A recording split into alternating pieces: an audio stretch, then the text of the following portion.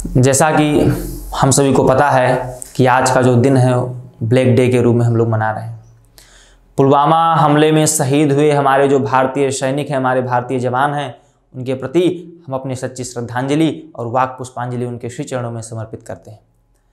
उनके परिवार में ईश्वर उनके परिवार को संबल प्रदान करे इस घटना से निवृत्त होने के लिए, क्योंकि उस पुलवामा अटैक में कोई माँ ने अपना बेटा खो दिया, कोई बहन ने अपना भाई खो दिया वो याद करती होगी कि इस राखी पर मैं किसके हाथ पे कलाई पे मैं रक्षा सूत्र बांधूँगी।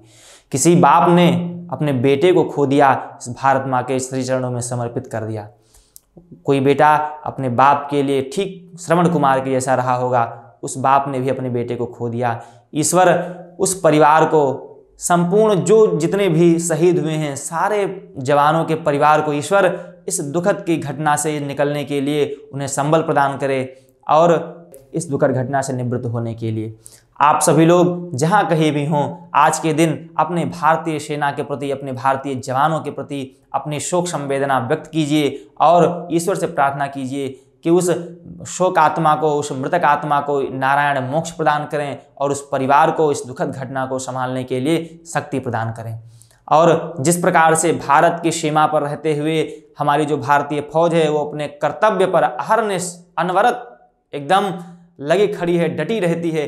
ठीक उसी प्रकार से भी हमें उनसे ये शिक्षा लेनी चाहिए कि चाहे धूप हो, चाहे गर्मी हो, चाहे सर्दी हो, चाहे बरसात हो, वे किस प्रकार से अपने कर्तव्यों का पालन करते हैं। और कर्तव्यों का पालन करते हुए यदि आवश्यकता पड़े तो अपने प्राणों की आहुति भी दे देते हैं। ठीक उसी प्रकार से हमें और आपको दोनों को जो जो भी, जिस जिस भी क्षेत्र में है, अपने अपने कर्तव्यों का तत् तत् कर्तव्यों का पालन करते हुए अपने अपने कार्य को संपूर्ण रूप से करना चाहिए। अध्यापक का कार्य है अध्ययन करना और अध्यापन कराना। वो आचार्य, वो शिक्षक, वो गुरु ठीक उसी प्रकार से अपने कर्तव्यों का पालन करते हुए अध्ययन का कार्य सुचारू रूप से चलाता रहे। और छात्रों का जो कर्म है, जो धर्म है, जो कर्तव्य है, छात्र उसके अनुरूप अपनी पढ़ाई को सुचारू रूप से जारी रखें, सुचारू रूप से करते रहें। इसके साथ ही मैं अपनी बात को समाप्त करता हूँ।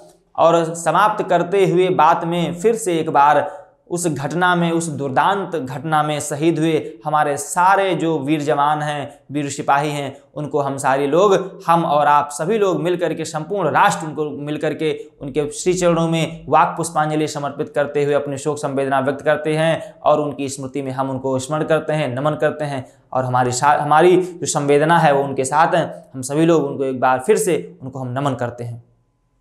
भारत माता की। जय। भारत माता की। जय। भारत माता की। जय।